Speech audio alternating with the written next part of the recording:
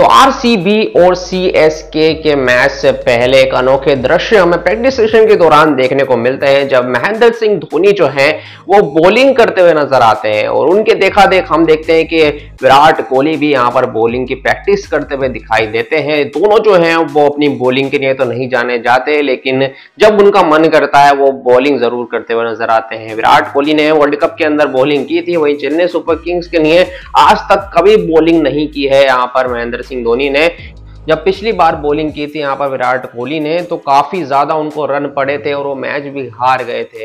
और उसके बाद उन्होंने कभी बॉलिंग नहीं की रॉयल चैलेंजर बेंगलोर के लिए। लेकिन अब वो बॉलिंग करते हुए नज़र आ सकते हैं आरसीबी के लिए। और क्योंकि काफ़ी देर तक उन्होंने नेट के अंदर बॉलिंग की प्रैक्टिस की। वही बात करें यहाँ पर महेंद्र सिंह धोनी की तो अपना आखिरी मैच ये हो सकता है उनका।